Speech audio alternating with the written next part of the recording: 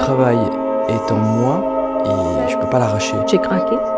J'ai cru que j'allais mourir dans l'usine.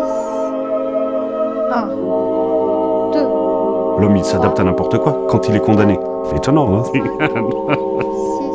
Je dirais c'est un ciment le travail, c'est un ciment de, de l'être humain.